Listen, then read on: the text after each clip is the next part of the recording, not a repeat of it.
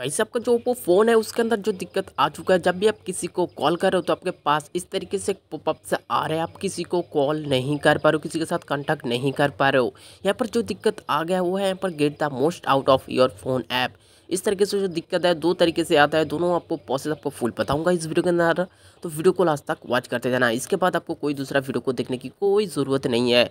यहाँ से आप इजी तरीके से हंड्रेड परसेंट उसको सॉल्व कर सकते हो।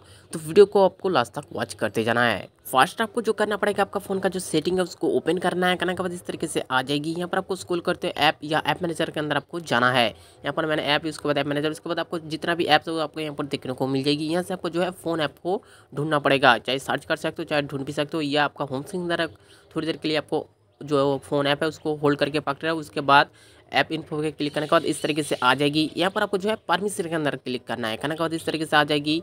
यहाँ पर आपको देखना है, आपको जो माइक्रोफोन है, वो आपको नॉट अलाउ में है कि नहीं, वो देख लेना है। यहाँ पर आपको नॉट अलाउ में नहीं है। तो बहुत मस्त है यार नॉट अलाउ में डज नॉट अलाउ में है तो उसको अलाउ में कन्वर्ट कर दो। तो यहाँ पर आपको दिक्कत है तो उसको सॉल्व करो इस दिक्कत नहीं है तो, तो यहाँ से आपका प्रॉब्लम नहीं है। तो आपको यहाँ से टोटली जो है बैक चले जाना है।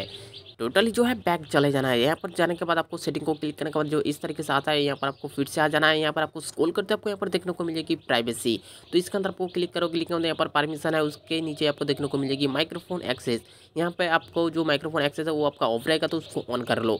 चाहे यहाँ पर आपको माइक्रोफोन एक्सेस ऑफ़ रहेगा यस वहाँ पर रहेगा। कहीं ना कहीं एक एक जगह पर आपको जो है माइक्रोफोन का जो एक्सेस है, वो ऑफ़ रहेगा। उसके बाद ये दिक्कत आ जाता है। तो कहीं ना कहीं आपको एक जो प्रॉब्लम है, उसको सॉल्व कर देना है। करने के बाद इसी तरीके से आपको जो प्रॉब्लम है सॉल्व हो जाएगी। और वीडियो से थोड़ी बहुत आपको जानकारी तो वीडियो को एक प्यारा सा लाइक ठोक दो यार।